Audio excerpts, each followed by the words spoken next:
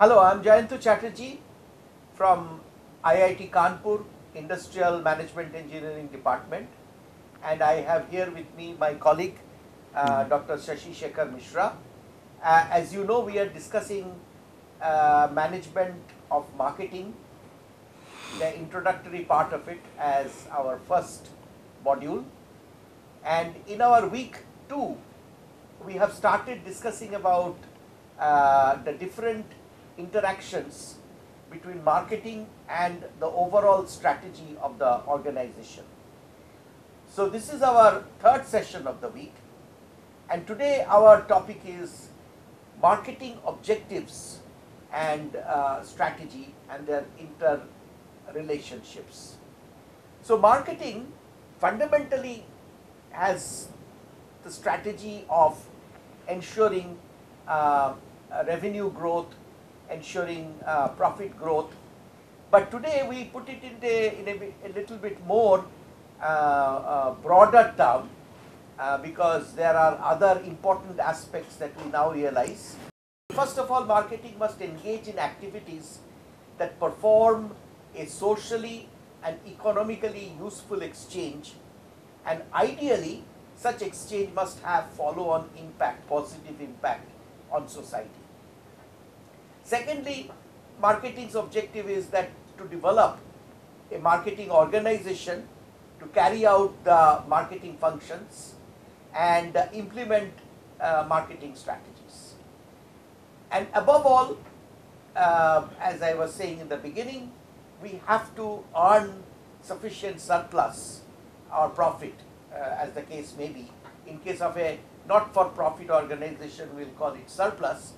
And we need that uh, bottom line, we need that net earning to survive and grow. And uh, taking this growth must come taking uh, minimum resources and uh, from nature, uh, from the organization itself, and it must uh, generate ultimately optimum satisfaction of people. Now, if we look at the company objectives, these three objectives that we just discussed with respect to marketing objective, if we now put it in the broader framework of company objectives, then as you see on the on your screen, you have production objectives, finance objectives, we, you have human resource objectives, R&D objectives. So marketing objective is a subset of the overall uh, set of uh, corporate objectives. Now within marketing objective, we have different other objectives like uh, these are the second line and the third line uh, details like product objective, place objective, those uh, we have already discussed in the uh, previous week. And then we can go further down, say under promotion objective, we can look at details like personal selling objective, advertising objective and so on. So fundamentally what we are saying is that uh, there is a hierarchy of objectives. First is the organization's overall objective.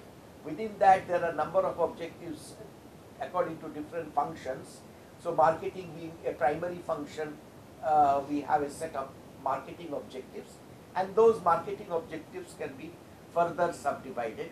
And uh, this is in a way also uh, shows uh, the structure of our course because we will follow this hierarchy that means from marketing objectives later on in the later weeks we will go into the details of uh, each objective.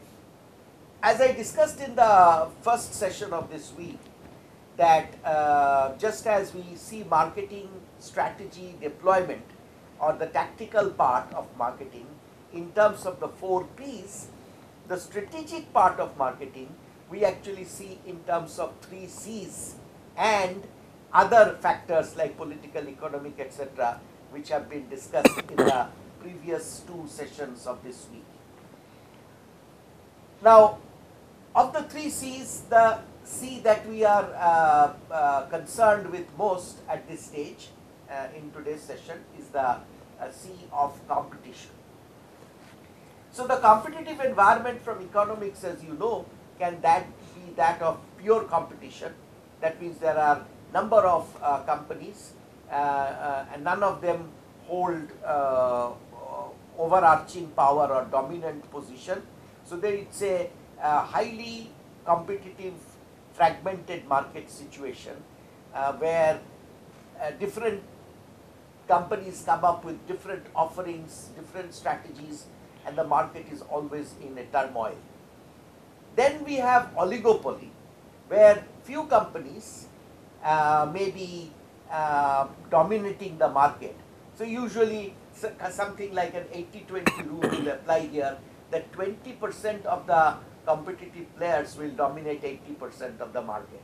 I mean this 20 and 80 can vary 30, 70 and so on. But fundamentally oligopoly means that few dominate and others kind of are scattered. Then we have monopoly which today uh, a hardly uh, exists except uh, in uh, state controlled uh, businesses. Uh, so monopoly means that there is only one company and they control the complete uh, dominate the entire market and offer their offerings are the complete set of offerings. And uh, monopolistic competition is where actually there is a controlled competition. There may be two companies. So in state controlled um, uh, markets, like for example say in electricity or coal, we see this kind of maybe two state units competing with each other so it's not really uh, competition, uh, the first type of pure competition, it's a very control limited competition. Most markets uh, which we will be discussing will have uh, usually a, an oligopolistic structure. To understand not only the competition but also other important players uh, in the field of, in the realm of strategy, we can borrow this famous diagram of five forces from Michael Porter of Harvard. And uh, here as you see uh, in the middle we have what we call the industry uh, competitors and the intensity of rivalry in, in a uh, uh, competitive market, oligopolistic or pure competition. And then this is a result of uh, several vectors that means uh, forces with a certain direction. So we, we have suppliers and uh, they uh, have certain influence on how the strategy and the competitive uh, strategy play out. Then there are new entrants who are trying to come into the market, so they are the challengers. Then there are different types of substitutes which might be completely changing uh, the nature of the industry. Like for example, as you see now, that the music industry, which was earlier uh, dominated by uh, music supplied on cassettes and uh, CDs, etc., uh, now is totally dominated by the the music industry, which earlier was delivered to customer, delivering their products and services to customers in bundles like cassettes, CDs, and uh, other kinds of transmission now totally dominated by the mobile uh, telephony industry because most music today are downloaded uh, from the internet on the phone by customers and enjoyed accordingly. So that is changing, uh, that is becoming almost a, a substitute form, uh, totally replacing the CDs and cassettes and all the other different uh, media that existed before and this is now becoming the dominant uh, substitute for music uh, platform music delivery. So that is what we mean, mean by substitutes and as they influence competitive structures and then of course there are uh, buyers the most uh, important part of the um, competitive force and the changing nature of the buyers and the changing tastes and the competitive forces they unleash therefore. Competitive advantage, uh, the, company has a marketing mix that the target market uh, sees as better than a competitor's mix. So as you see, this is where we link up tactics and strategy. So the way customer sees uh, the strategy or feels or perceives the strategy, marketing strategy of an organization is through those four P's of uh, price and uh, product features and uh, promotion and distribution and so on. Um, the formulation, however, of the strategy comes from uh, various uh, environmental factors and other internal and external analysis which we will be discussing just now. So, to create that tactical uh, bundle, the company is required to understand current competitors' offerings, anticipate uh, the existing competitors and new competitors and their likely plans, and they have to also uh, uh, monitor uh, the effects of changes in the competition, like uh, appearance of substitutes or uh, new suppliers coming in with new kinds of uh, raw materials or components or subsystems. So, as you see therefore, analyzing the competitive landscape is a continuous internal occupation of the marketing function in an organization and the way then they respond to that competitive uh, function uh, gets understood by the customers in terms of the four P's. Competitive strategies can uh, carry different risks. We discussed the Ansoff metrics uh, in the previous week session. So from that we you already know that unrelated diversification that means not only it's a new product in a new market, but it is unrelated to the uh, products that you have been dealing in so far. That is the most uh, risky business. So a petroleum company, if that now gets into say uh, fast food business, that will be an unrelated diversification, new types of products, new types of customers, a new market segment, and that is the most risky. Market penetration, which is uh, going uh, with existing products to existing customers and covering more of them is uh, the most usual strategy. That is what we are doing day in and day out. And then in between are the two areas where either market development or product development, the routes through which we then go for this uh, uh, diversifications or unrelated diversification and uh, which route we will take from where we are today, market penetration, to uh, the blue ocean or the complete new area of market. This uh, trajectory of our uh, journey, marketing journey, will depend on those uh, uh, political, economic, social, technical and other factors that we have discussed in the previous session Because that will make a particular opportunity either uh, less attractive or more attractive. So as you see, currently the way we are looking at strategy, we are looking in terms of where we want to be. That means our current position versus the new position that we want to create. Here we do not consider so much about our capabilities or internal resources, etc. We assume that those can be arranged. But in today's world that is not always true. So tomorrow we will look at another view of strategy which we call the resource view of strategy but that let's take that up tomorrow. So today in this within this uh, uh, resource uh, within this position view or position school of strategy in that framework adoption of a particular strategy will be an interaction between the tactical part and the formulation part. So for example, if there is a company which want to introduce disposable nappies in the Indian market, it has to see whether it wants to come in with a distinctive product. That means it, whether it wants to play with feature based competition. Or it has to decide whether it has to play, uh, it, wants to compete on the basis of price coming up with a lower price. Or it wants to uh, compete in terms of a wider distribution or a new type of promotion.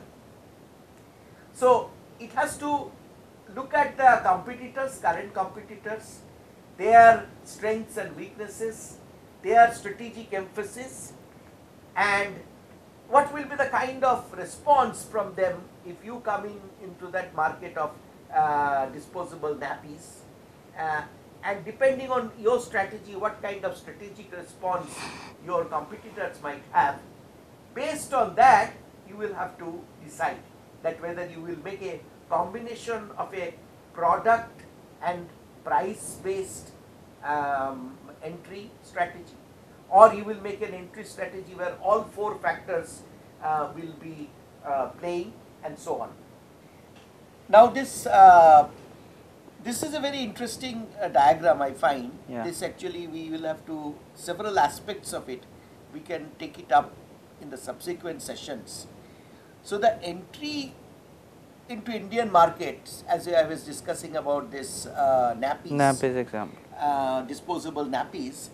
So on one hand, it will be determined, the strategy will be determined by competitive analysis, understanding that what uh, the competitors' price positions, the com- current competitors' promotion strategies or distribution strategies, etc., are, and what kind of response the uh, competitors might uh, offer uh, in response to uh, your entry into that market.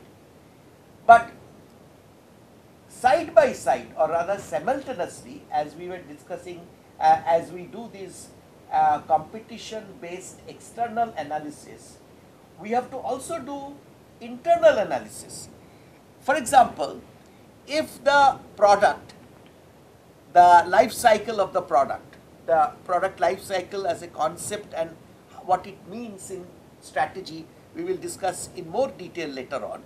But uh, usually it comes as an S uh, shaped uh, graph. And this shows the complete uh, life cycle uh, structure. So if it is going like this, the entire strategy, and you are, uh, we are coming in at say some point here. And then the total cost build up line will be this. Then we will have to determine the pricing strategy, the promotion strategy, Yeah. uh, the distribution strategy, understanding where we have entered the market with respect to the life cycle. Yeah. And we have to do this competition based analysis. Obviously, if we are here, the competition is intense. There are many, many competitors. Yes. Whereas uh, if we are entering somewhere here, then uh, the, the competition has become very oligopolistic. It has become very set. Few uh, competitors will be totally dominating the market. So, as you see, this graph is kind of this part. So, if this is the graph, this is where you have entered, that means you have entered here instead of here, then this is the going to be your cost buildup. So, your pricing strategy has to therefore uh, take in uh, account the entire marketing strategy has to take in account the external factors and the internal factors simultaneously because the internal factors will determine uh, the, the cost uh, and how the cost will grow over time or the cumulative cost. So, the cumulative sales will depend however on the life cycle uh, position uh, of entry and accordingly we will have to manage the other piece, uh, the other other marketing mix factors ultimately to uh, what I am trying to say therefore is that the the composition of the tactical package in terms of the four P's determined is determined by the overall strategy framework and the overall strategy framework depends on simultaneous understanding and analysis uh, of external factors and internal factors. To conclude this particular session, I would now like to uh, just show the uh, famous uh, two models. This is the first model, uh, which is in fact, perhaps I would take this model first. This is the famous uh, BCG matrix, where they actually put again in a 2 by 2 matrix uh, relative market share versus market market growth rate. So if the market growth rate is high and the relative market share is high, then that is the star position, that is the most desired position. And if the relative market share is low and uh, the market growth rate is low, Low. then that's kind of the, uh, the, the most, the worst market position, uh, which they call dog. And this is where the ma- relative market share is high, but the market growth rate is low, which means that uh, we are on that upper side of the graph, which I was discussing Later stages of the product life cycle. later stage of the product life cycle. Uh, in that matured condition, number of Yeah. competitors have come down, Come down. whereas number of competitors will be uh, much higher when the market growth rate is higher. Yeah. So here and here there will be many competitors, Yeah. and here and here there will be few competitors. But if you have few competitors, low growth market, but your market share is very high, that can generate a lot of cash. So that's why they called it cash cow. But this particular uh, uh, model is kind of not used that much because uh, many authors later on, many researchers and managers have criticized this uh, use of these animal models because that brings in some additional, uh, you know, sort of values that are not correct. But if we uh, uh, go this model, this is a much better model for uh, understanding because the, here we have taken industry attractiveness and divided it into three parts. The famous, this is the famous uh, GE uh, strategic planning grid. This very nicely uh, brings together uh, the internal factors as well as uh, external factors, the company's current position and where it wants to be, um, and the competitive structure, everything together. So industry attractiveness divided in three parts, high, mod, medium, low, business strength in three parts, low, medium, high, and obviously therefore if business strength, that means relative market share is high, industry is very attractive, then this is the most uh, desired, Desired position. And here therefore this whole package of uh, size, growth, share, position, profitability, margins, technology position, all that will be different in different blocks determined by both external factors as well as internal factors. And therefore, what a company should do in terms of marketing as a strategy and then how that strategy will be deployed through the marketing mix as tactics will be different under different circumstances.